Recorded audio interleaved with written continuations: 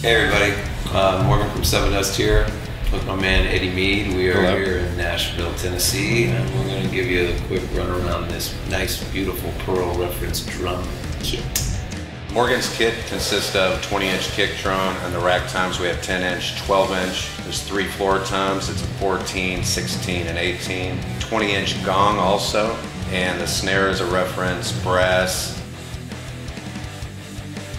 The reference kits are just like automatic, out of the box gold. Everybody is loving the kit. They love the finish. Front house has been getting a lot of compliments. Um, the monitors sound great every night. A solid sounding kit, and uh, not much you have to do to it.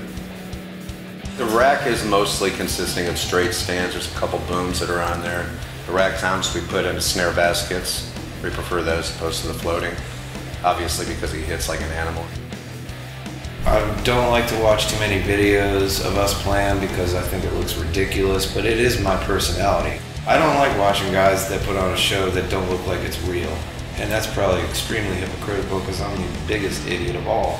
But I mean, it is coming from a place that's real for me. The other thing is, is make sure that the gig is down. Make sure the gig is solid. I like to watch guys that want to put on a show that can play all the parts. Once the parts are terrible, once the meter sucks, but they're putting on a show, then you've fallen into the crowd is listening to the show with their eyes, and I think that that's robbing.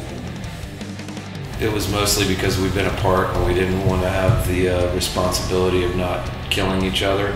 So we hired Elvis uh, Baskette to do the record. And the first day that we went in to start working on pre-pro for the record, I sat down and looked at this kit and I was like, you know, this is pretty trippy that I don't know how to play drums anymore because we've been off for the better part of a year and a half.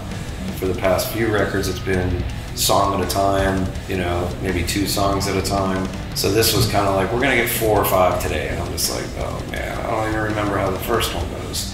The songs are really cool, you know, it's not about me on this record. I'm not the singer, oh, I'm not the lead singer.